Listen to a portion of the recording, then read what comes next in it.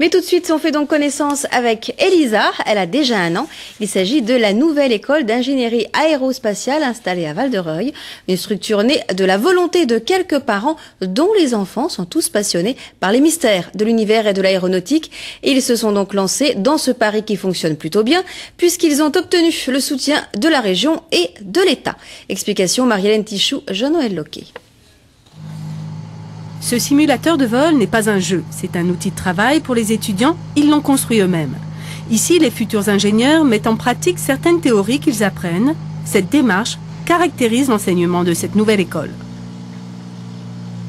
Un projet comme le nôtre où dès, le départ, on ne va pas faire que des maths et de la physique, on va déjà toucher du doigt ce que fait un satellite, comment on lance une fusée, comment un avion s'avole, comment on prépare un, un vol d'avion de ligne, etc c'est une manière donc d'attirer, de, tirer euh, vers euh, le métier d'ingénieur des jeunes qui sont rebutés au départ par faire que des maths et de la physique. C'est le problème des préparations classiques. Pour ces étudiants, la formation se termine et ce jour-là, ils soutenaient leur thèse de fin de cinquième année. Ils avaient commencé leur étude dans une école de la région parisienne, mais ils n'étaient pas satisfaits. Alors, il y a un an, des parents ont décidé de créer une nouvelle école. Des enseignants ont suivi.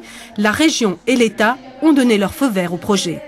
En Normandie, il n'y avait pas d'enseignement supérieur destiné à l'aéronautique et le spatial euh, dans notre région alors que c'est quand même la troisième région pour euh, l'industrie aéronautique et spatiale.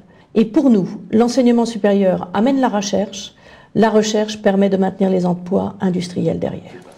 L'école s'appelle ELISA. Ses dirigeants espèrent maintenant obtenir l'homologation de leur diplôme et ainsi être autorisés à délivrer le titre d'ingénieur.